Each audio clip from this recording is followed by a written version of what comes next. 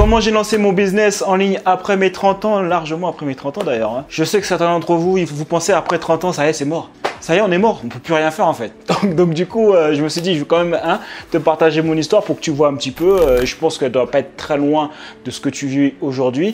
Donc pour te redonner un peu le contexte, quand j'ai lancé mon business en ligne, j'avais déjà un projet en cours. Ça veut dire que j'étais électricien chez les pompiers de Paris, là où j'étais bien, on va pas se mentir. J'avais un appartement de fonction, je jouais au foot le mardi et le jeudi matin avec les autres collègues. On s'amusait bien. Mais ton gars, il voulait plus. C'est ça la vie, ça y est, je, suis arrivé, on est bon, on, fait quoi? Un chien, enfant, machin, et c'est fini. Et après, on meurt. Et par un passage rapide en vacances, euh, où j'étais allé voir euh, euh, ma daronne, euh, j'ai vu qu'elle était infirmière libérale, et bon, j'étais pas au courant, j'avais pas compris le concept, je savais pas exactement c'était quoi. Donc j'étais arrivé là-bas, j'ai vu qu'elle était infirmière libérale, j'ai vu que ça se passait bien quand j'ai vu la maison, alors que nous on a grandi à Ivry dans 91 euh, aux pyramides, c'était pas la même là. J'ai vu euh, une grande maison j'ai dit Mais alors maman qu'est-ce qui s'est passé là? Il y a des, informations qui ont qui circulent pas, c'est important la communication maman. Donc du coup après ça m'a chauffé, j'ai dit bah vas-y moi aussi je vais faire infirmier libéral, comment ça? Elle m'a dit bah ça tombe bien, en plus moi je cherche quelqu'un pour travailler avec moi. Ah bah fallait pas m'en dire plus. Je suis rentré à Paris alors que j'avais l'intention de, faire les sous-officiers euh, euh, chez les pompiers. J'ai arrêté tout ça, j'ai dit allez jette-moi ça là-bas là. J'ai regardé combien gagnait euh, l'adjudant-chef. J'ai dit, attends, infirmier libéral, je fais ça la première année. Allez. Et donc, du coup, j'ai tout arrêté. Et j'ai fait mes études d'infirmier. Et après, je suis retourné aux Antilles. Enfin, je suis retourné. Je suis parti habiter euh, aux Antilles, en Guadeloupe, plus précisément. Où il fallait faire deux années, il me semble, en tout cas à l'époque. Il fallait faire deux années à l'hôpital avant de passer infirmier libéral. Donc, j'étais dans cette période-là. Voilà, pour que tu aies bien le contexte. En sachant que c'est trois ans d'études, j'ai quitté un boulot où j'étais quand même payé correctement. Pour moi, j'étais pas mal quand même, c'est presque 2000, je crois, 1900 et quelques. Avec appartement de fonction, donc quand même, faut le mettre, hein, l'appartement de fonction était bien. Et après, il y a encore deux ans à faire pour prendre l'expérience, pour pouvoir enfin avoir son cabinet. Donc ça fait cinq ans au total. C'est une information importante. Et durant cette période, c'est là que j'ai découvert le business en ligne, un petit peu par hasard, parce que j'avais déjà commencé à investir en immobilier quand j'étais avec mes collègues euh, chez les pompiers de Paris, parce que j'avais des collègues qui investissaient aussi. Sauf que eux, ils savaient ce qu'ils faisaient. Moi, j'avais juste acheté un appartement comme ça. Je me suis dit, j'achète, c'est tout. Puis voilà.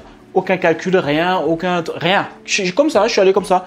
Ah, il vend un appartement Ben donne-le-moi. Je caricature pas. Voilà. J'ai acheté comme ça. Et après, c'est là que j'ai vu, ah, il y a des charges coupons à payer. Ah, il y a des choses. Ah ouais, faut être rentable. Voilà. Et c'est là que j'ai compris que la formation, c'était important. J'ai pas eu le temps de passer par formation arnaque. Parce que je me suis pris la douille direct et je peux te dire que ça fait mal. Donc direct, de moi-même, je me suis dit, mais non, mais en fait, j'ai besoin que quelqu'un m'explique. Et je suis allé chercher où est-ce que je peux acheter une formation quelque chose que, pour qu'on m'explique comment faire en fait. Et du coup, j'ai acheté directement une formation. C'était à l'époque la formation de Cédric Anissette. Et j'étais content. J'ai vu pourquoi j'ai foiré, etc. J'en ai connu un peu plus sur l'immobilier, voilà. Et après, j'ai été dans sa mailing list où à l'époque, les gars, ils faisaient des, euh, des lancements euh, en équipe. Ils font plus ça maintenant, les gars. Et il avait partagé une des opportunités d'un de, ses collègues euh, qui proposait de comment gagner de l'argent en ligne. Donc c'est vraiment, voilà, par curiosité, j'étais un peu sceptique. Mais je me disais, Internet, quand même, on dirait quand même c'est l'avenir. Ah ouais, sérieux? Ah ouais, t'es sûr? On est déjà à Internet 3.4 là. hein. Donc première chose que j'ai fait, c'est qu'il fallait vendre le rêve euh, à mon ex. Bah oui, ça c'est la base les gars. Donc ça c'est la première chose que j'ai fait. Fallait vendre le rêve. Et dis-toi, c'est pour ça que j'ai donné le contexte au début, pour vraiment que tu sois dans l'ambiance, j'avais déjà vendu le rêve des Antilles. Que je serai infirmier libéral et qu'on sera en 4x4 X5, c'était mon délire à l'époque, le 4x4 X5, et qu'on aurait une villa vue sur la mer. Donc j'avais déjà vendu le package, parce qu'à la base, elle n'était pas très chaude pour pouvoir aller vivre aux Antilles. Donc là, je viens de lire Père riche, Père pauvre, je m'aperçois que j'allais me prendre une douille de malade, parce que pour pouvoir avoir l'X5 et la, la villa sur la mer, fallait, fallait emprunter. Ça veut dire que j'allais devoir travailler toute ma life. Dans un boulot, j'avais oublié de te le dire, dans un boulot qu'en fait, je kiffais pas. Donc 5 ans de ma life, pour m'apercevoir quand je commence à être infirmier libéral, ah, en fait, j'aime pas. Je pensais pas que c'était possible, mais voilà. Je me suis dit, bah, en fait, j'aime pas. Comment on fait maintenant Je me suis dit, le business en ligne, ça m'a l'air pas mal. Ça règle pas mal de problèmes. Mais là, du coup, tu repars à zéro. Donc, du coup, fallait vendre la vision à mon ex. Oui, c'est pour la famille, puis après on sera libre, on pourra voyager où on veut, euh, au lieu d'être enfermé dans les crédits, tout ça, euh, vue sur la mer. Pff, voilà, attends, pourquoi faire? Bon, voilà. Mais ça, les gars, c'est important. Il y a des gars, ils n'arrivent même pas à vendre. Ils veulent être entrepreneurs, mais ils n'arrivent même pas à vendre une vision à leur propre femme. On fait comment, les gars? En, tant qu'entrepreneur, en tant que leader, c'est la base. Tu dois vendre la vision. Sinon, qu'est-ce qui va te suivre? T'imagines Elon Musk, il pourrait, il n'arrivait pas à vendre une vision. De... Elon Musk, il t'a vendu la vision qu'on va aller sur Mars. Et tout le monde est là. Ouais, ouais, je pense que ouais. hein. C'est ça, la, c'est ça la force. Donc, du coup, première chose, vendu euh, la vision à mon ex, c'est passé, on est bon. Ensuite, j'ai tout simplement acheté euh, une formation en ligne. Bah, je te dis ce que j'ai fait, hein. tu t'attendais à un truc euh, suspense. Hein j'ai acheté une formation en ligne, voilà. Hein, pour avoir les informations, vu la douille que je m'étais prêt avec l'appart, ça, je l'ai un peu en travers.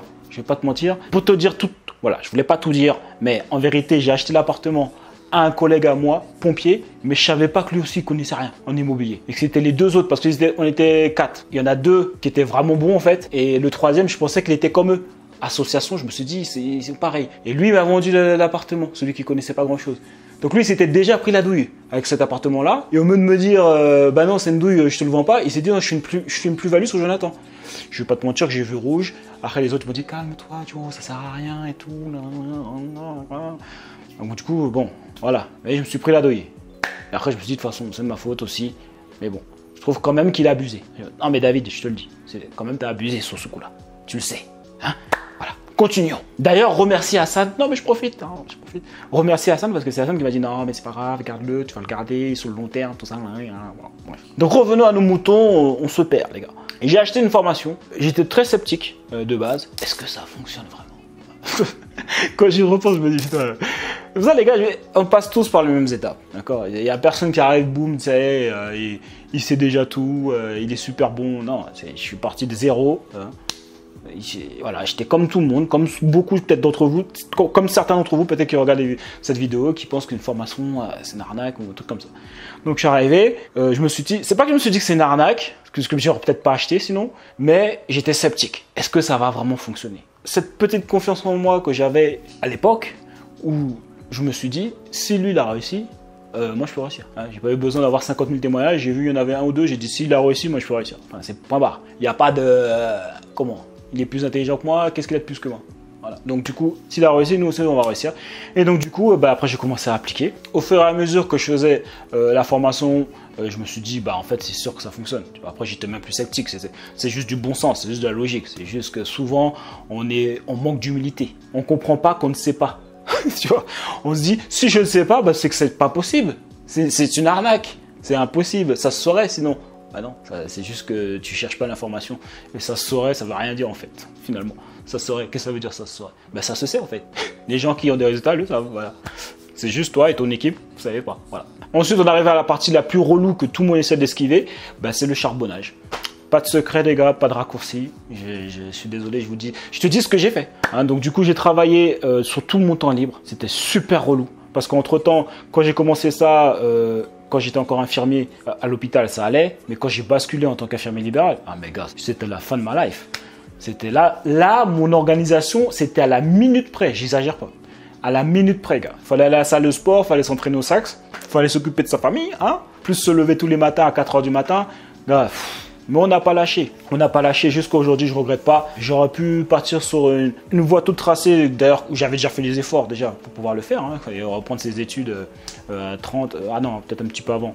29, euh, un truc comme ça. J'avais déjà en tout cas fait tous les efforts euh, longs, 50 de ma life, où j'ai mis en pause pour pouvoir devenir un famille libérale. J'aurais pu dire, vas-y, écoute, eh, laisse tomber, viens, on déroule. Parce que c'est pas le charbonnage, c'était pendant un moment. Au moment où j'ai acheté la formation et que, j'ai euh, eu des résultats, ça a pris un an, pratiquement un an et demi. Alors ça a pris un an et demi, ça aurait pu être plus rapide. C'est juste que au début, je le faisais tranquillement, tu vois comme j'étais un peu sceptique, je faisais un cours de temps en temps, je faisais vraiment, j'étais régulier, mais peut-être que tu vois, je faisais une fois, un cours par semaine, tout ça. J'étais pas, j'étais pas genre à, fond parce que j'avais déjà un projet de base, tu vois. Et c'est quand après je me suis aperçu que ah, le projet que je voulais de base c'est chaud parce que ça, je suis pas bien, je suis pas épanoui. C'est là aussi que j'ai une révélation sur l'argent ne fait pas tout parce que quand j'étais infirmier libéral, je gagnais très bien ma vie. Euh, ça, j'avais au niveau argent, j'aurais j'aurais eu aucun souci, j'aurais été refait. Il y en a, c'est leur, c'est leur goal de la life d'être infirmier libéral. Je sais pas si c'est toujours aussi bien, mais en tout cas, moi, à mon époque, j'aurais été bien. J'avais déjà une patientèle, je travaillais avec ma mère.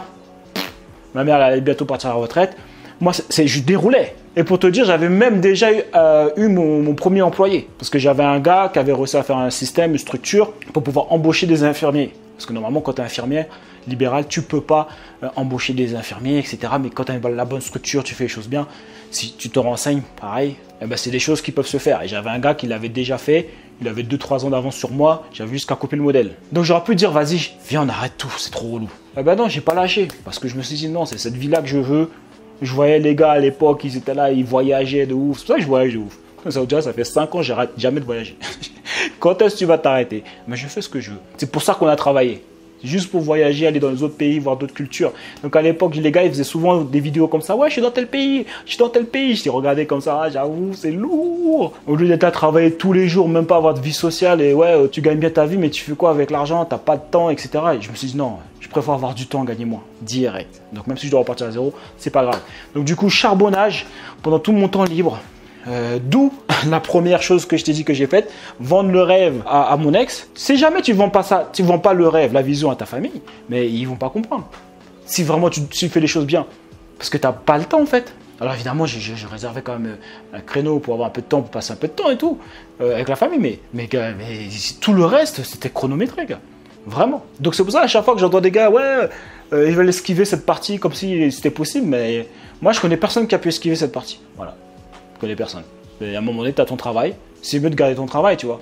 Alors après, il y a des gens qui arrivent à avoir des. Euh, comment on appelle ça Quand tu te fais virer euh, et tu touches un chèque et tout, machin. Pourquoi pas? Mais après, tu tombes peut-être dans un piège où. Peut-être pas tout le monde, mais il y en a qui vont tomber dans un piège où. Ah, c'est bon, j'ai le temps. Ils vont pas être vraiment à fond, avoir la niaque, tu vois. Après, il y en a qui, euh, qui font ça et qui charbonnent. J'accompagne quelqu'un, justement, en ce moment, il a fait ça, et charbonne, il, il est déter.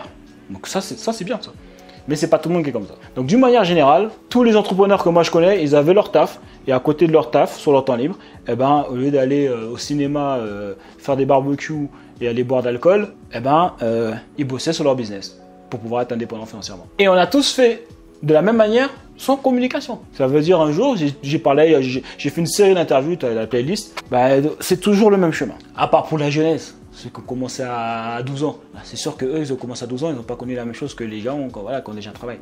Je rigole, Gérard, quand j'ai 12 ans. Ou pas Aujourd'hui, maintenant, rien ne me surprend. Ensuite, j'ai réinvesti euh, l'argent que j'ai touché, c'est-à-dire que dès que j'ai touché mes premiers euros avec euh, mon business en ligne, j'ai réinvesti euh, dans un mastermind à, l'époque. Donc du coup, ça m'a permis de me retrouver avec des gars qui, qui faisaient des 100K par mois Hein, moi, je venais juste de faire mon, lancement à 20 000 euros. Euh, bon, pas pareil. Et je générais avec mon business en ligne 2 à 3 000 euros par mois. Donc du coup, c'était pas du tout pareil. rien à voir. Mais au moins, euh, ça te permet de se voir, ok, c'est possible. Après, moi, j'ai sur ce taux de sceptique, à, cette, époque-là, j'étais plus sceptique. Là, là, tu pouvais me dire n'importe quoi, je croyais, et euh, ça fait aucun problème. Donc, je pense pas que j'avais vraiment besoin, parce que souvent, j'entends des personnes qui disent, ah ouais, quand j'ai vu que lui, je l'ai vu de mes yeux, j'ai parlé avec lui, j'ai vu qu'il générait euh, tant, je me suis dit, ah ouais, c'est possible, ça a débloqué un truc. Euh, moi, j'ai pas trop cette difficulté, mais quand même, c'est bien de voir, voilà, tu parles avec des gars, tu vois comment ils font, tu vois que voilà, ben, ils ont une vie vraiment que toi, tu voudrais avoir. Je pense que c'est bien, tu vois. C'est inspirant, et ça peut être aussi frustrant. Parce que ça, les gens n'en parlent pas. Ah ouais, c'est super inspirant. Ouais, c'est bien, c'est inspirant, je suis d'accord avec toi. Mais il y a aussi une part de frustration, sans basculer sur la jalousie. Hein. Non, c'est enfin, non. Arrête d'être entrepreneur. Mais ça peut être frustrant quand tu vois les gars euh, qui sont super loin et que toi tu n'es pas encore. Mais du coup, tu, tu, utilises cette frustration pour pouvoir te booster, tu vois. Et forcément, c'est un avantage de pouvoir parler avec des personnes qui sont au niveau où toi tu voudrais arriver. Après, il faut quand même essayer d'être un asset pour ces personnes-là, hein, parce que sinon ils vont vite se fatiguer avec toi. Hein. De la même manière, toi tu veux parler avec des gens qui, sont élevés, bah, eux aussi de la même manière ils veulent parler avec des gens qui sont élevés. Donc il faut leur apporter quand même toujours un échange de valeurs. Hein. C'est comme ça. Tu peux pas être là juste pour prendre pour prendre. Donc ça c'est petit conseil. Donc après, comment apporter de la valeur bah, Tu regardes ses besoins simplement.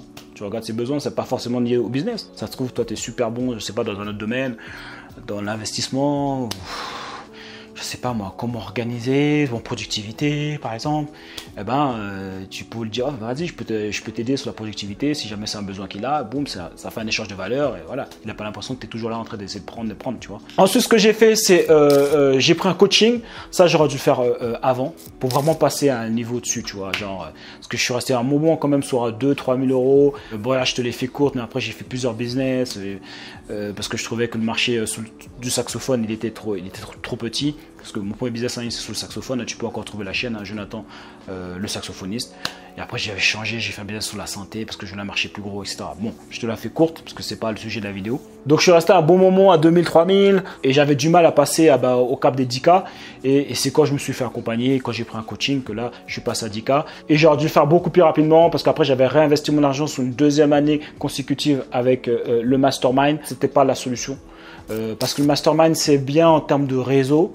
Donc c'est là où j'ai rencontré pas mal de gens. Peut-être que tu connais Matt, Alexandre, un de mes, bons potes maintenant, euh, Alexandre Cormon, et d'autres aussi. Donc c'était bien au niveau réseautage. Ok, c'est cool. Mais la différence entre un mastermind et un coaching, c'est que le mastermind, on n'est pas là. Euh, ok, c'est quoi ton business? Vas-y, on t'accompagne. Ok, tu as rencontré tel truc. Ça n'a rien à voir en fait. En fait, moi à ce niveau-là, ce dont j'avais besoin réellement, c'était un coaching. D'ailleurs, si je devais refaire tout, je sais même pas si j'aurais fait la première année euh, de mastermind si j'aurais pas mis directement euh, en termes de coaching. Après, c'est un peu relou parce que du coup, j'aurais pas, pas rencontré mon, mon, gars sûr, euh, Alex, donc c'est un peu relou quoi. Mais bon, en tout cas, ce qui est sûr, c'est que une année, ça aurait été bon, la deuxième année n'était pas nécessaire. Donc du coup, j'ai pris le coaching, ça m'a fait passer un level au-dessus, boum boum direct. Et puis la dernière étape, ben après, tu deviens entrepreneur, tu t'en rends même pas compte. J'ai pris du temps à, à comprendre, mais ça y est, je suis entrepreneur. Ah, c'est ça, entrepreneur? Bah ouais, bah oui, ça y est.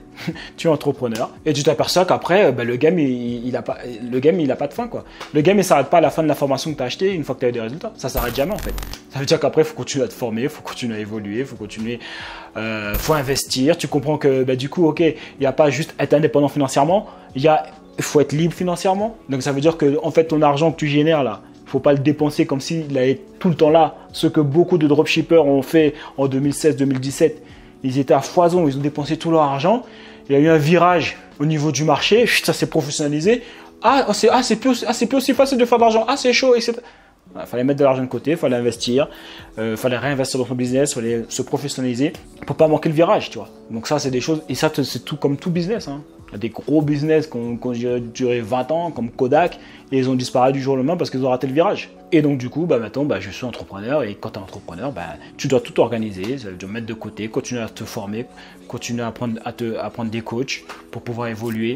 À partir du moment où tu arrêtes d'apprendre, eh ben, tu stagnes. Et je te dirais même pas que tu stagnes, tu stagnes, tu commences à descendre en fait, tu déclines. C'est ce qui arrive à beaucoup d'entrepreneurs. Tu peux pas juste euh, te baser sur ce que tu as appris il y a deux ans, trois ans et tu restes comme ça. Il faut toujours travailler, améliorer. Et euh, voilà, c'est le voyage entrepreneurial en fait, tout simplement. Mais ce que je peux te dire, c'est que en aucun cas, je regrette d'avoir fait euh, le saut. Et je pense que si je l'avais pas fait, j'aurais regretté. Même si j'aurais été dans mon X5 avec un crédit sur 40 ans, un 45, avec villa sur la mer, vue sur la mer et tout, j'aurais été malheureux, j'aurais pas eu de vie sociale. Et toute ma life, je me serais dit, mais en fait, euh, j'aurais dû au moins essayer, quoi. Au moins essayer pour voir si jamais j'aurais pu le faire. Et ça, c'est un regret qui m'aurait fait mal. Et même si, peut-être dans les euh, premières, années, deuxième année, je faisais pas autant d'argent que quand j'étais infirmier libéral, parce que du coup, c'est comme si tu là, boum, tu redescends, tu repars à zéro en fait. Et ben, gars, j'étais plus heureux. Qui l'aurait cru Qui l'aurait deviné? Ben, J'étais beaucoup plus heureux, Parce que j'avais du temps. Parce que je pouvais voyager. J'étais libre géographiquement, j'avais du temps. Et puis j'avais suffisamment d'argent pour pouvoir manger, pour pouvoir être bien. Et puis j'avais moins de stress aussi, tu vois. les patients, des fois, ils sont relous. Euh, j'avais juste une employée. Et, et non, l'employé, rien à dire. Euh, nickel, mais faut organiser. Des fois, il va prendre des vacances. Comment on fait et tout. Bon, après, c'est des choses que tu apprends, c'est comme dans le business en ligne. c'est comme dans ton business en fait. Des choses que j'aurais dû apprendre, comment manager, etc. Bon. Mais je me suis dit quand même, le business en ligne, sur le long terme, enfin sur le moyen terme, je pense, moyen terme, j'aurais de toute façon un plus gros effet de levier avec plus de temps et plus de liberté. Donc non, on ne regrette pas. Et je vois beaucoup de personnes avec qui je communique, que ce soit par Instagram ou par le téléphone, ils sont bloqués sur l'une des phases que je t'ai données. Il y en a, ils ont du mal à, passer la phase de acheter une formation, ou il y en a, ils sont euh, pas focus, ils vont acheter différentes formations de différents, différents trucs, Amazon, euh, dropshipping, euh, trading, enfin ils font tout. trading, c'est pas un business, ça veut pas dire que c'est pas bien, hein, je dis juste ça. Ou ils sont coincés sur la phase de bah, ça fait au moins 3, 4 ans, 5 ans, ils voient qu'ils n'ont pas de résultats, mais ils essaient, ils essaient de se débrouiller par eux-mêmes. Je suis passé par cette phase-là aussi des fois. ils se disent, ouais, je, ils postent, en fait, ils ne se pensent pas ok, j'ai un souci, j'arrive pas à avoir le résultat que je veux avoir, qui peut m'aider ou qui a l'information? Tant que tu réfléchis pas comme ça, c'est mort. il faut faire preuve d'humilité. Sinon, c'est mort, c'est sûr. Donc, les gars, ils restent bloqués. Je parlais récemment avec un gars, il me dit Je te suis depuis le début. depuis, donc, j'ai commencé en 2018, j'imagine. Euh, donc, gars, ça fait pratiquement quoi, 7 ans. On est à combien? En 2024 Je sais pas combien de temps, ça fait un bon moment en tout cas. Ça, ça fait un bon moment, il a toujours pas de résultat. Et il pense pas qu'il a besoin d'un accompagnement. Qu'est-ce que tu veux faire hein J'ai envie de te dire, chacun ses problèmes. Bon, c'est ce que je vais partager avec toi. Et les gars, on lâche rien et on reste déterminé. Il y a eux, il y a nous. Je vais ton camp. Vous voulez gagner de l'argent grâce aux réseaux sociaux mais sans montrer votre visage Pas de problème. Créer des vidéos autrefois était une tâche longue et difficile. Mais maintenant, avec l'intelligence artificielle de Apollon Vidéo, vous pouvez réaliser des vidéos incroyables en quelques minutes, juste en tapant ce dont vous avez besoin. En d'autres termes, vous pouvez avoir votre propre chaîne YouTube de manière totalement anonyme. Laissez-moi vous montrer comment ça fonctionne. Tout d'abord, inscrivez-vous sur Apollon Vidéo. Ça va vous prendre quelques minutes. Ensuite, tapez une idée, par exemple, comment générer des revenus en ligne et laissez faire le travail pour vous. Et voilà, c'est fait. En quelques clics, vous avez maintenant une vidéo prête à être publiée. Franchement, je vois pas comment ça aurait pu être plus simple que ça. Je vous le dis, Apollon Vidéo va révolutionner la manière dont sont réalisées les vidéos pour les réseaux sociaux. Et c'est votre chance de participer à cette révolution. Cliquez sur le lien quelque part autour de la vidéo pour pouvoir profiter de 7 jours pour pouvoir tester l'application.